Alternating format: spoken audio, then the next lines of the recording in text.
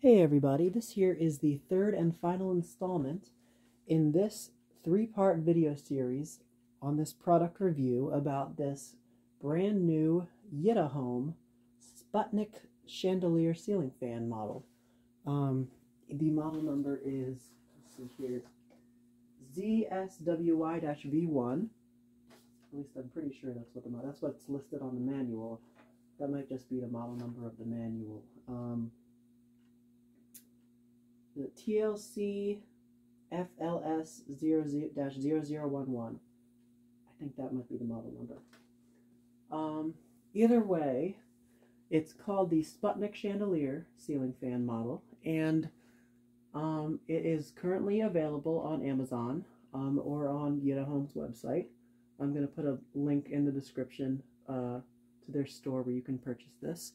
Um, and they have graciously gifted me this test product um, just to review. So if you saw my first two videos, you saw the unboxing and the installation, of course. And so it's only fitting that we finish off with the testing portion. So the ceiling fan, it's in this gorgeous um, soft gold tone. The blades are reversible from this sort of dark ash sort of finish to a bleached oak, which is more traditional. Um, I chose the dark ash finish, but um, I, I can do a video with the flip side showing if I get enough requests to do so. Um, it's got this absolutely wild light kit. It's got eight globes. They're all these circular frosted globes. Um, and it's in the style of an old, like, Sputnik style chandelier. That's why it's called the Sputnik, obviously. Now the fan is remote controlled, and I'm going to show you the remote right here. So as you can see, it has three speeds, high, medium, low. It has an on-off switch for the light. There isn't a dimmer on this one, unfortunately, um, just on and off. And there, down here, there's a timer. Um, now, I haven't read up in the manual yet. I think the timer may be for the fan motor. I'm not sure if it also controls the light but um, I think that is, I think the timer is just for the fan. Um, you can mount the remote, whoops, as I was saying as it fell off, you can mount the remote with this mounting bracket on the wall if you desire.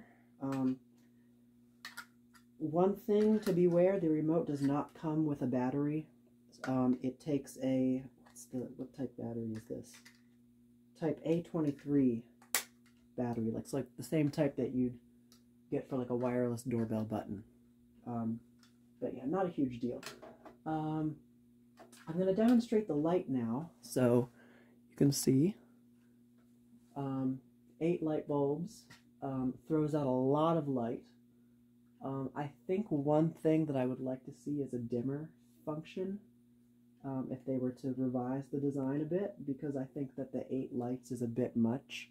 I mean, it might work for like a dining room setting or possibly like a, I don't know, like task lighting, but for ambiance, I feel like it needs that dimmer. But it is really pretty with the, lights all lit up, um, as you can see. So, turn that off.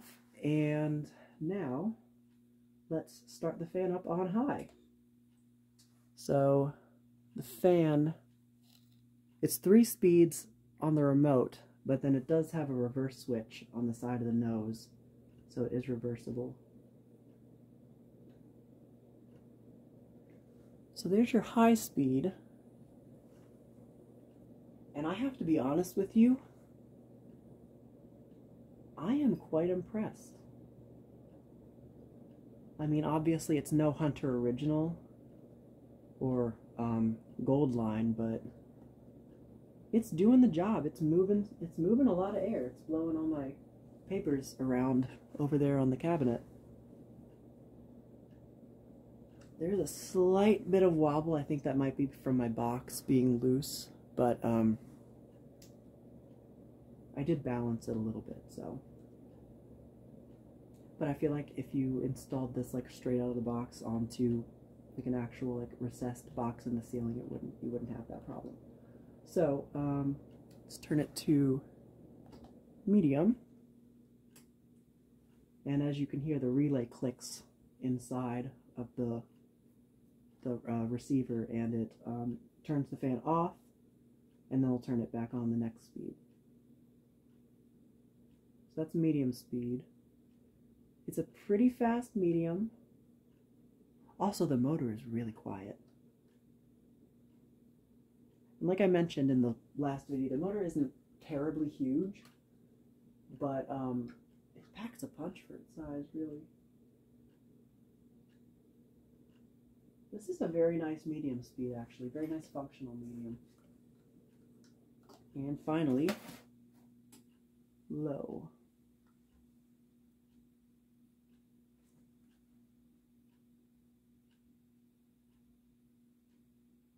Now the low speed is just a little fast for my taste. I mean, this is really just my opinion, and I think a lot of other fan collectors would agree that, you know, those slow aesthetic lows when you can see all the details of the fan spinning. I think especially on an elegant fan like this, you probably benefit from a slower low speed. Now you can, if you want, wire it without the remote receiver and put it on a three speed control, I believe, because if you take the remote out, it's probably just a single speed motor um, with the light kit. Um, then you'd have to cut the wiring harness off, and that would probably void the warranty. Um, so you could do that if you wanted to get a slower low speed, but I think that the capacitor values in the receiver could be adjusted a bit to compensate for better low speed. But that being said, I do feel some air from it on low speed. So it does work as a good functional low. I'm gonna, I guess I'll turn the light kit on again and show you with the light on with the fan spinning. Okay, I'm gonna put it back up to high.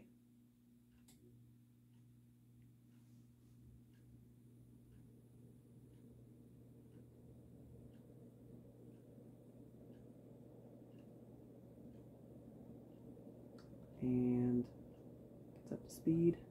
And we're going to spin it down now.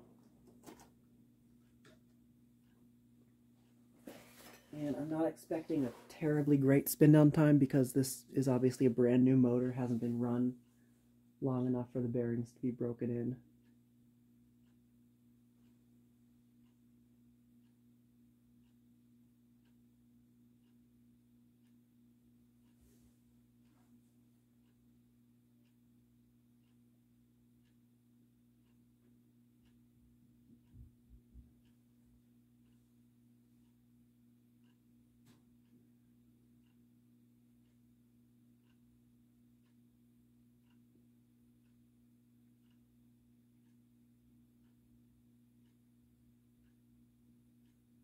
Just a little stiffness. Not terrible, but yeah, probably could stand to be run for a couple hours to break in those bearings some more. So I'm gonna go up here and uh, flip the reverse switch. This will be the first time I'm testing it in reverse, so start it up on low.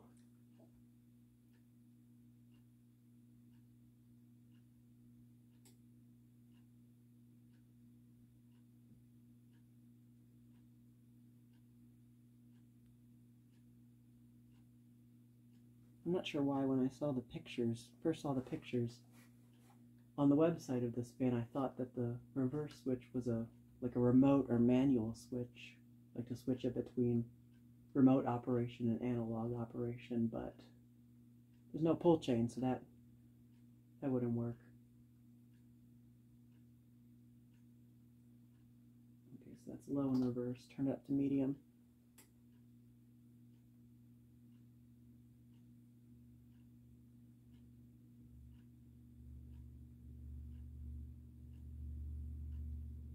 Like the wobble may be better in reverse, actually. It's not wobbling at all.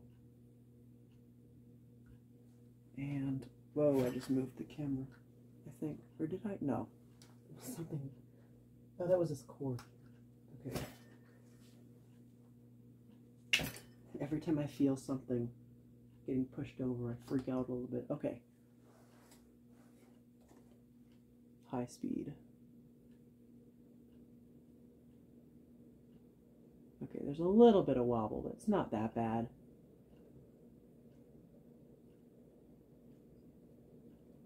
I am feeling some air.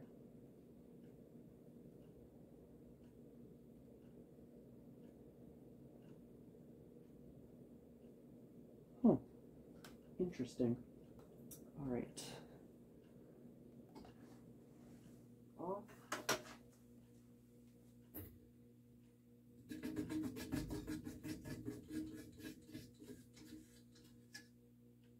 Okay. And now, our up close view here. So, of course, you saw this up close when I was unboxing it, but now you get to see it assembled.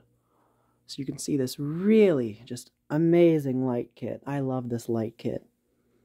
If they sold this as like a separate chandelier or like a light fixture, I'm just saying that would be a that would be something that would be very interesting. I would like to see that.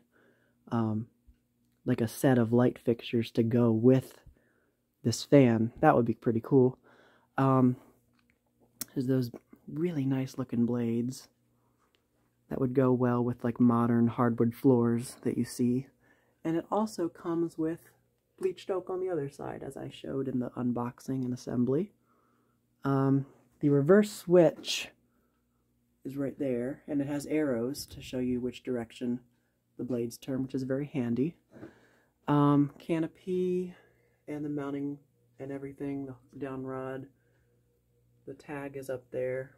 The I think that's a model information tag, or is that the one that just says blades must be above seven feet? Oh no, that's a so the model number is T TLCL TLCFLS dash 0011. So not that first number I said.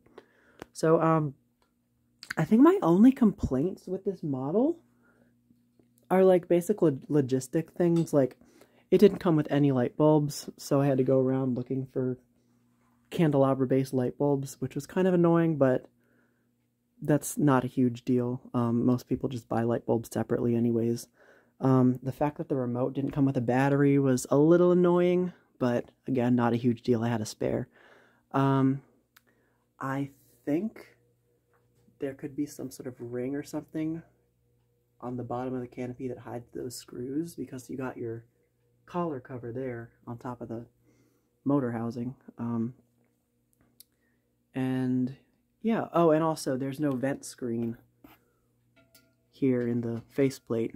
Um, maybe a vent screen could be added, but it's not a huge detail. You can't really even tell if you're not looking. Um, but other than that, I, whoa, just dropped a half an original canopy. Um, yeah, no, I really am impressed by this fan and this company. Um, I'm very, I was very thrilled when they reached out to me to do like a collaboration, and I am, I'm looking forward to see what else, what other products they have in store for us. So again, I'm gonna put the link to this fan and to their store for all their other products. Um, and uh, just let me know how you guys thought about this video series, if you want to see anything more. Um, so yeah. Um, oh, and one more thing I wanted to show you guys. This is the manual that came with it. also came with this little flyer here with the in for like a business card type thing. Very nice. Um, but here's the manual. I didn't show this in the unboxing video, and I said I was going to. Um, there's that that's the model number that I thought it was, and that's its actual model number. So, I'm not going to show everything in huge detail. If you want to read anything, you can just pause. But the instructions are very detailed, so they do give a, a good sort of background.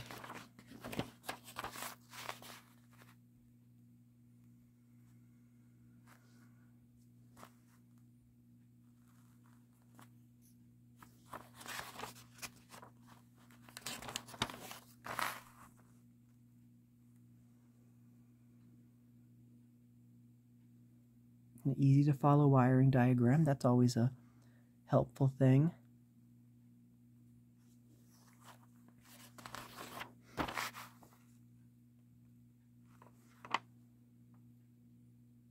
Oh, and there's information about the reversing directions.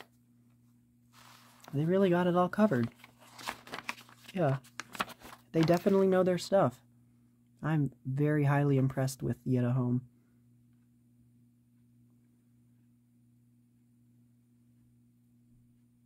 Okay, and then I think there's like a troubleshooting section on the back here, which is again, they just thought of everything. And there's nothing on this page. And then the reverse. So, yeah, I think that is about everything for this video.